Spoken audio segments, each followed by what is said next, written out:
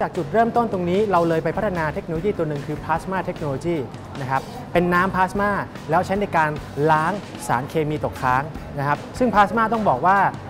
ได้รับการพรูฟแล้วในในผลงานวิชาการเยอะมากว่าสามารถล้างสารพิษตกค้างได้อันที่1นะครับอันที่ 2 ก็คือไปสเตอริไลซ์คือฆ่าเชื้อที่บนผิวของผักผลไม้ได้นะครับนอกจากนี้พลาสมายังไปช่วยในเรื่องของการยืดอายุผลผลผลิตได้อีกด้วย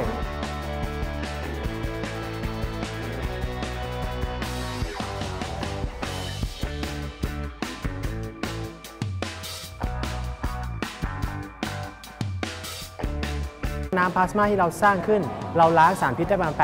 80%ซึ่งผ่านมาตรฐานของ MRL Maximum Residual Limit ตามประกาศของกระทรวงสาธารณสุข แล้วก็ออยแล้วนะครับ เพราะฉะนั้นเราการันตีว่าผักทุกชนิดที่ผ่านเครื่องตัวนี้นะครับที่ผ่านน้ำพลาสมาสารพิษหายหมดนะครับนั่นคือผลพลอยได้เด้งที่ 1 เด้งที่ 2 ยังสามารถยืดอายุผลิตภัณฑ์ได้ด้วย สี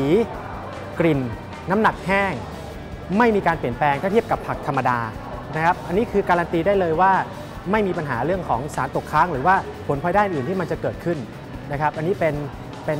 เทคโนโลยีที่เราได้พัฒนาขึ้นนะครับจากความมือของกระทรวงวิทยาศาสตร์ด้วย แล้วก็อุทยานวิทยาศาสตร์ภาคเหนือ แล้วก็สเต็ปนะครับมชด้วยร่วมกันพัฒนาครับ ตามที่ท่านรัฐมนตรีสุวิทย์ได้พูดไว้ว่า BCG Model Bioeconomy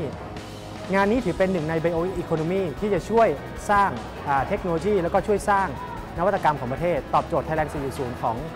ทางท่านนายกรัฐมนตรีได้ด้วยนะครับ